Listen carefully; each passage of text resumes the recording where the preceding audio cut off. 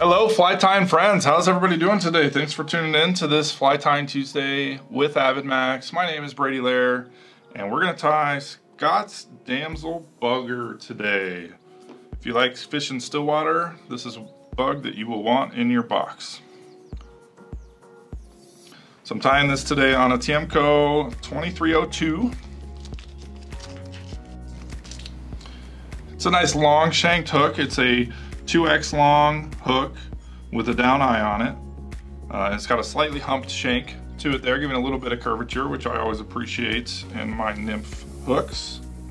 We're gonna start out today with a glass bead, just a Tyers glass bead, a red one here.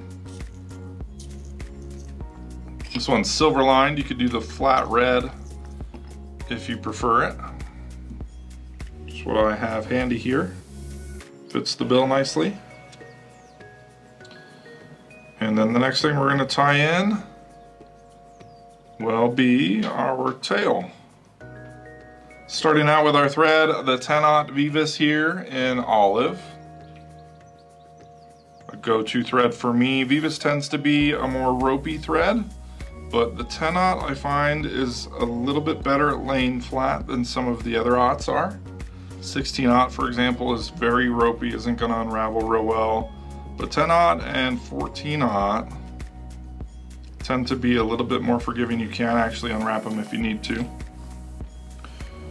So like I said, gonna tie in the tail next. I'm using some marabou for the tail. That's what this recipe calls for.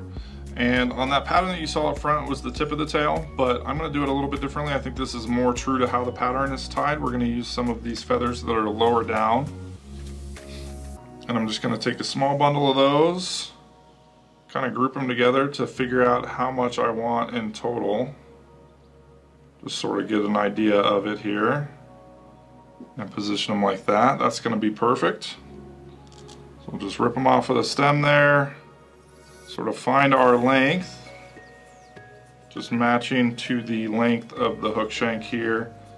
And then we can transfer that measurement right to the back and secure it down with some click locking wraps there.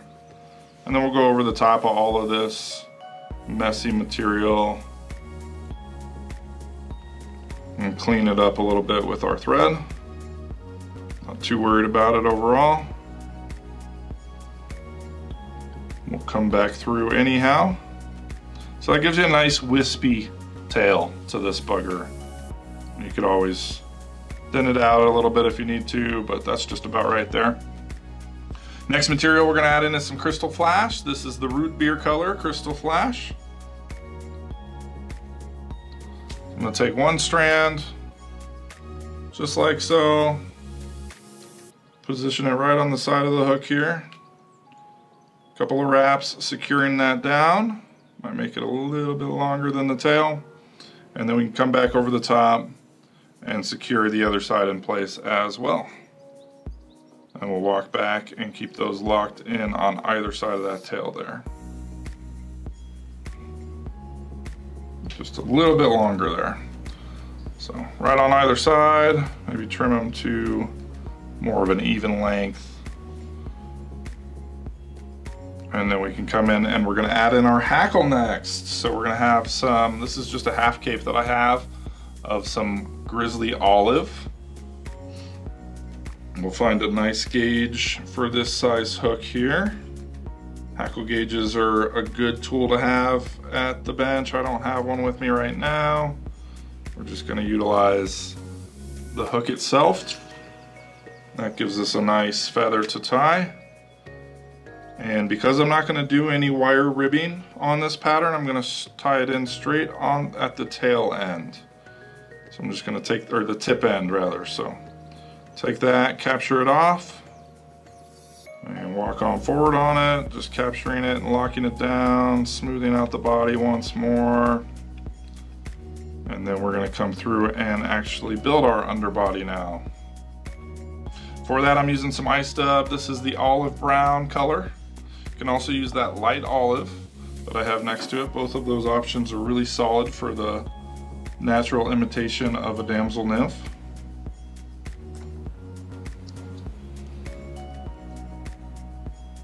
This is a good summertime fly to have in your arsenal. Like I said, if you do fish still water in the month of July, tends to be a lot of the damsel activity that we see here in Colorado as things really start to warm up. Water temperatures warm just a little bit. You'll see some damsels start to move around, start to hatch.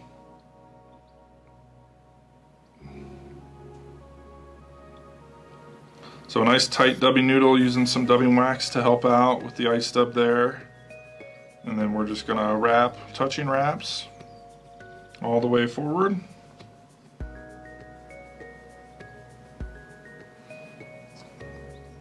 And just a little more dubbing here. And we'll leave ourselves a little bit of room on the front end to finish things off. Work on that taper of the body here just a bit. Pretty slender overall, especially if you're considering this as a bugger. It's a very slender bugger and downsized as well. We're tying this on a size 10 today. Just my go-to size for these damsels especially when you're using these longer shank hooks, that is. Add in just a small bit more dubbing here. And again, we'll leave ourselves a bit of a collar area to finish everything off there. So now that we have our body dubbed, we're just gonna go ahead and bring our hackle forward and fairly open wraps on this as you go. This isn't like tying a dry fly dubbing, dry fly hackle necessarily. Uh, more like a bugger hackle, obviously, for this bugger nymph. Nice open palmered wraps. Right on forward, capture it behind, couple in front, and then we can clip out that extra material there. And come right back in and we're just gonna add in a little bit of dubbing to finish the bad boy off. And this is just the good old ice dub in peacock. So a little bit of a darker color somewhat of a contrasting color make a little bit of a collar here sort of push some of that hackle backward. And then all you got to do is come up beneath up underneath and give this fly a nice whip finish.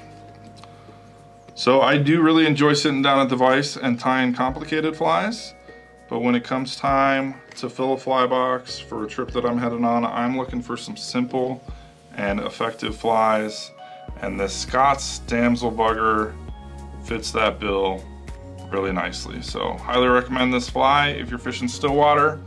Get it down to where those fish are suspended and you will have a wonderful day catching fish uh, that are eating damsel nymphs. So thanks so much for watching. Check out the description below to find all of the materials that were used today, uh, links to the other fly tying videos we have, and make sure to check out avidmax.com for all your tying and fly fishing needs. Thanks so much for watching. Enjoy it.